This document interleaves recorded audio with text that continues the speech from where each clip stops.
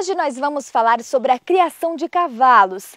Afinal, esses animais estão entre os preferidos de quem vive no meio rural e tem dicas para mantê-los bonitos e saudáveis.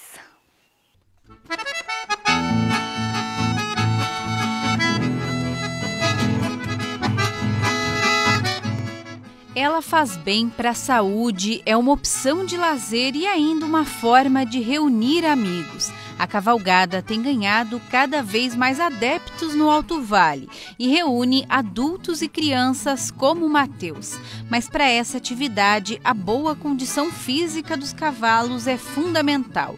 O Edinaldo, que é apaixonado por eles desde pequeno, explica que os cuidados devem começar já na hora da cruza, com a escolha de animais de boa genética. Já chegou aquele tempo que você escolheria qualquer fêmea ali e cruzava com um cavalo bom para ver o que, que dava.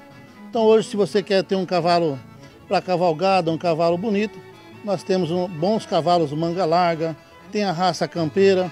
E se você quer um cavalo de rusticidade para provas de laço, como nós temos aí o freio de ouro que de vacaria quase todos os anos aí as pessoas de dois em dois anos a pessoa está indo para lá.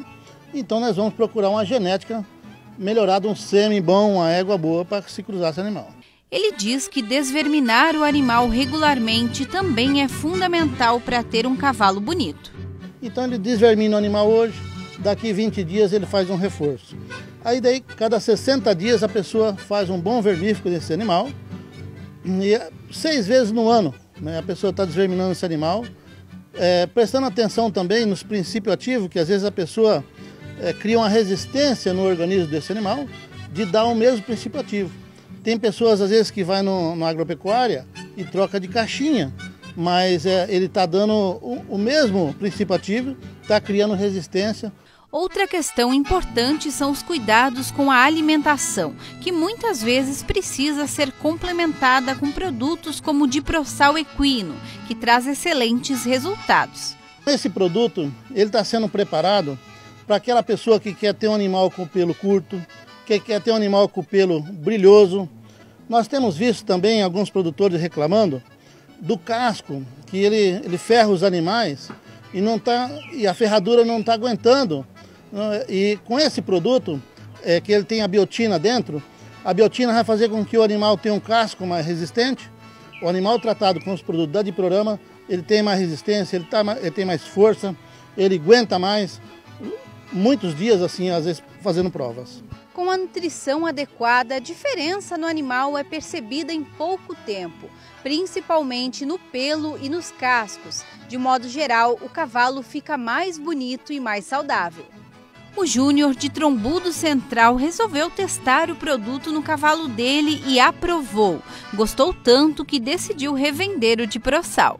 Eu comecei a dar para o meu cavalo, eu percebi uma boa melhora no pelo do cavalo, nos cascos do cavalo, bastante. Nos cascos do cavalo mudou 100%. E comecei a usar o produto, gostei. A gente botou para vender. A princípio até peguei 10 baldes só, fiquei assim. Daí ele disse, não, pode botar aqui, botemos. E todo o cliente meu que eu convenci a colocar o sal, a dar no animal, ele deu, é, indiquei a quantidade por dia, o tratamento, ele fez o tratamento em 30, 40 dias eles já vinham de volta, ó, gostei, o sal é bom, é, funcionou, deu resultado no pelo, deu resultado nos cascos. O Josafá também ama cavalos e utiliza o de Proçal há algum tempo e tem conseguido ótimos resultados. Então, Josafá, o que, que tu percebeu de diferença né, usando o de Proçal?